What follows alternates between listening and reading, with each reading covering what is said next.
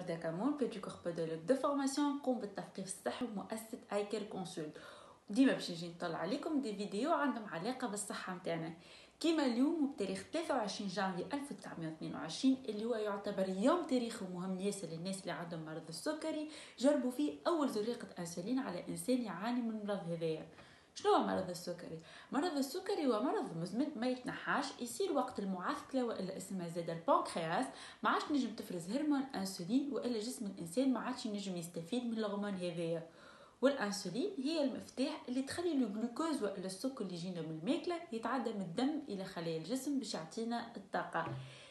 سالتوا شي مرة رواحكم زعما الأنسولين هذا كيفاش اخترعوه. هاي هاني باش نحكي لكم الحكاية وركزوا معايا بالباهي. قبل كل شيء باش نبدأ نحكي لكم على أهم الإنجازات اللي لازم نعرفوها قبل ما نوصل نحكيو على نهار 23 جانفي. باش نحاول نحكي عليهم في ساعة من غير ما نطول عليكم.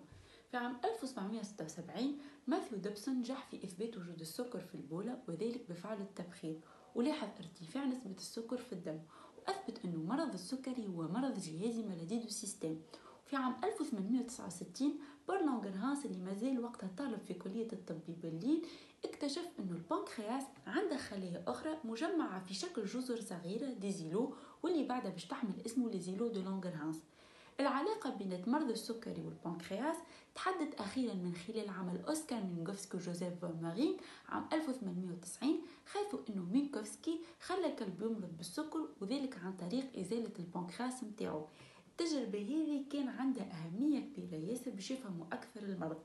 خدمة مينكوفسكي كمل عليها أوجين ليندسي أوبي اللي بعد اكتشف إنه ظهور مرض السكري مربوط بتدمير جزر اللونغرهانس الإنجازات اللي وصلوا لها مينغوفسكي واوبي حلوا بيبان وآفاق جديدة لأطباء وعلماء أخرين من القرن العشرين اللي باش يصير فيه ثورة وإنجاز مهم ياسر للبشرية وتحديدا للناس اللي عندهم مرض السكري. الانجاز هذا يتمثل في استخراج هرمونة باش تكون ناجعة في علاج المرض هذايا. ومن غير ما نطول عليكم باش نتعدل أهم حدث صار عام 1921 العام اللي اكتشف فيه الأنسولين أخيرا. فريدريك غرانت بونتين جراح كندي عمره 29 سنة افترض أن البنكرياس عندها وظيفة أخرى اللي هي إنتاج هرمونة من قبل les îlots de Langerhans اللي تقوم بتعديل نسبة السكر في الدم. والأستاذ في الفيزيولوجيا جون ماكليود في تورونتو عطاه مخبر صغير وحيوانات باش يقوم بالتجارب متاعو عليهم. وانضم ليه شارل بيست شاب كندي عمره 22 سنة متحصل على شهادة في وظائف الأعضاء والكيمياء وطالب بكلية الطب.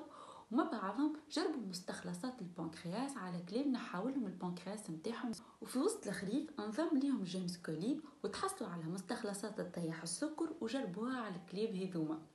نهار 11 جانفي 1922 الباحثين هذوما اتيحت لهم الفرصة باش يجربوا المستخلص هذايا على وليد صغير عنده السكر واسمه ليونارد تومسون المعروف بالتصويرة هذايا وكان وقت عمره 14 سنة ويعاني من المرض هذايا من عام 1919 كان وقتها يوزن 29 كيلو وباش يدخل في غيبوبة ويموت. أول جرعة عملت ردة فعل وبعد ب 12 يوم منها 23 جانفي عطاوها ثاني جرعة اللي قام تنقيتها دكتور كوليب.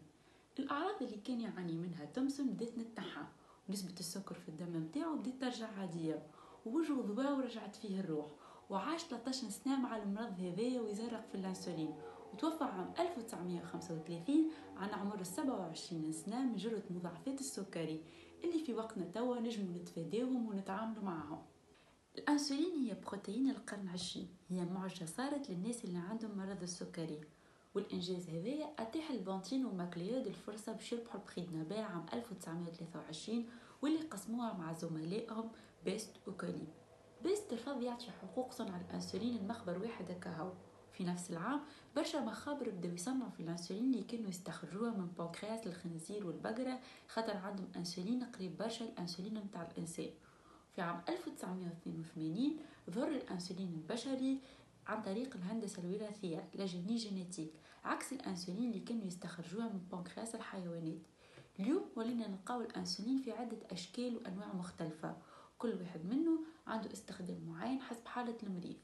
الأنسولين عمرها 100 سنة 99 سنة التالي جربوها لأول مرة على إنسان يعاني من المرض هذايا في وقتنا توا الإنسان اللي عنده مرض السكري نجم يعيش حياة طويلة و presque عادية خاطر الدواء ولا موجود. أما ما ننساوش الدواء وحده ماهواش كافي.